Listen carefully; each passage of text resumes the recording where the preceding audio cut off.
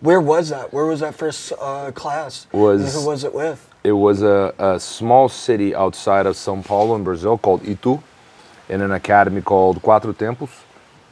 And the teacher was a guy called Alexandre Mansur, who was a purple belt under, Ota- under uh, Otávio de Almeida Jr., was his nephew actually. He was a purple belt teaching the morning class. That's when I trained.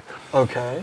So it was a purple belt. My, actually, it was a blue belt. No, it was a purple belt for a few days, and then right after, it was a blue belt who took over called Sergio, and he was my teacher for a little minute. And then after that, I, I can't remember what, what. I think I changed my schedule so I can train at night, and I started training in the evening with Otávio Almeida Jr. And that was when I was a white belt. And then I moved to Las Vegas as a white belt in end of '98.